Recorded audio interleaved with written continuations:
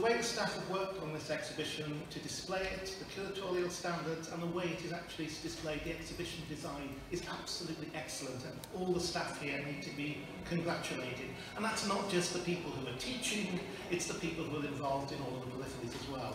Because as I was saying with my MBE, it wasn't just me, it was the whole team at Liffin. You don't do it on your own. And it is a collaborative thing. Um, I graduated from Art College 30 years ago. Um, and it was the most exciting time of my life, I think. Um, certainly while I was at art college, it was great fun. Um, it got a little bit more serious very soon after that, in that um, I took my work to a gallery in London, and they took it up immediately, and then it was, how, how do you make it? You know, how do you get it out, and this, that, and the other. So it's an interesting time for all of you. A lot of you are going on to other courses, and I really wish you success with those courses. Um, we have worked with several of the people here. One of your staff, strangely enough, many, many years ago I used to teach, which makes me feel decidedly old. anyway, congratulations. There are a group awards that um, I'm going to give out in a minute. But there's one other thing I would like to say is that when I was a teenager in Wales, I weren't really any animals. Um, there was the Cambrian Academy Plas Mawr 2 years. Now we've got an amazing network of galleries in Wales and theatres and music spaces. This started happening from about the mid-70s, Theatre Gwynedd, now Pontio, Mostyn, we opened 79, we opened, we've developed since, Tŷ Pawb has just opened in Wrexham, there's Gallery. There's a wonderful flowering of the arts. The Arts Council of Wales is now an independent body from what used to be the Arts Council of Great Britain, and Wales is one of the best places for people to actually get money from the Arts Council to help them in their careers. It's a really proactive place. And at the moment, with the Senedd, devolution, we've got a new culture minister, which is also great. And it's great that there is somebody who is actually designated just for culture within the Welsh Government. And that happening earlier this year certainly cheered me up tremendously. So um, let's go with the awards. They're and big enough, so I don't need my glasses, which is great. So the FE Award winners uh, for vocational and academic excellence, the winner is Isabel Singleton from Arts Foundation. Is Isabel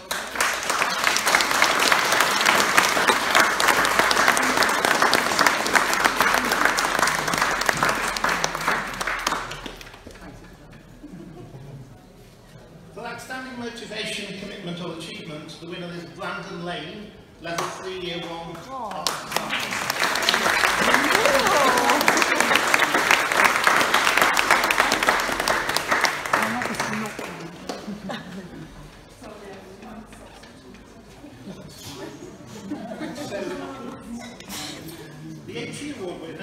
um, Vocational and Academic Excellence, the winner is Jasmine Dawson. And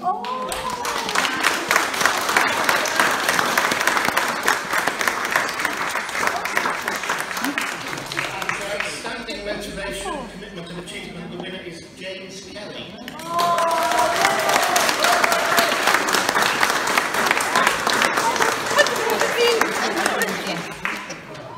There are two other.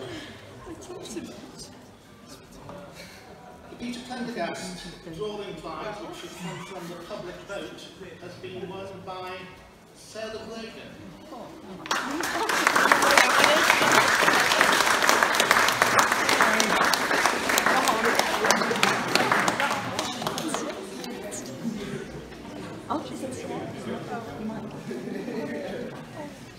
And Peter Prendergast drawing prize goes to Janet